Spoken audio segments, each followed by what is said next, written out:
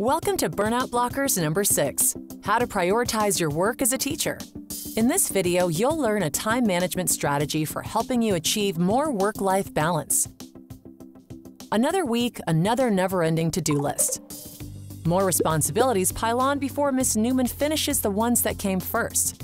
And her to-do list doesn't even include everything she's doing during the school day. So how is it possible that her more experienced colleagues who teach the same subject look so much more relaxed?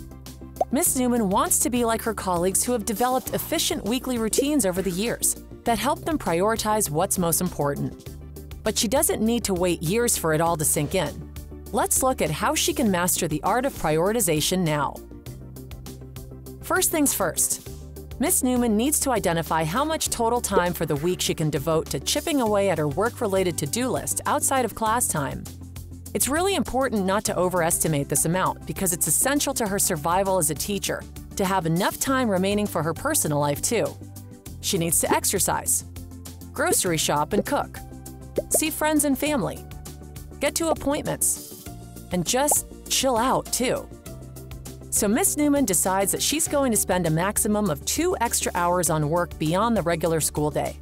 Even on the weekend, she's going to try to avoid spending more than three hours a day on school stuff.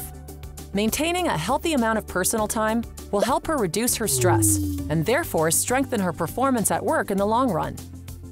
Next, Miss Newman's going to identify no more than five major categories of things she needs to get done throughout a particular week, like organizing the classroom, communicating with administrators and parents, planning class time, creating lesson materials, and grading papers. Then, using a decision science approach, she'll rank those categories by thinking about what's really most important to get done well this week, and what honestly wouldn't be a huge deal if she gave it less effort. Lastly, she'll weight these categories by assigning how much time is appropriate to spend on each category out of the maximum number of hours. Note that time spent on creating materials and even grading them will likely decrease a lot after your first couple years of teaching. To enhance her productivity, Ms. Newman can track the chunks of time she's spending on each category throughout the week. A spreadsheet can make it easier to track the running total. Tracking the time will probably push her to stay focused on one task at a time because she won't want to go back and forth tracking five minutes of work she did here or there. It will also help her over time improve her estimates of how long various tasks take. It's often not realistic for a teacher to be able to delegate or ignore tasks, so Miss Newman is also trying not to feel bad if it looks like she needs to pull back her efforts in some areas to be able to close out her to-do list by the end of the weekend.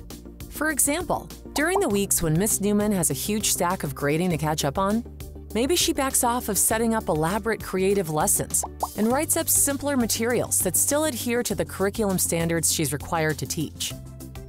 There's no avoiding the massive amounts of work you have to do as a new teacher, but as they say, you should try to work smarter, not harder. The hours in the day are limited, and your energy is too. So make sure how they get used matches up to your priorities. For more in-depth information about how to manage your limited time and also learn how to tackle big decisions, read Smart Choices, a practical guide for making better decisions by John Hammond, Ralph Keeney, and Howard Raiffa, and The Organized Mind by Daniel Levitin.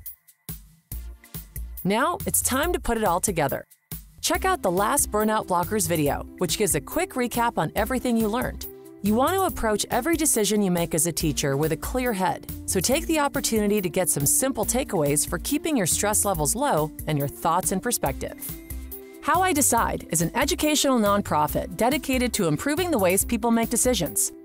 If you like what you learned in this video, check out what we can help you teach your students. Our Habit-Wise and Mindful Choices programs bring positive structure to their daily routines to help them manage life stressors and make better decisions. Go to programs.howidecide.org to get free access to the lesson materials.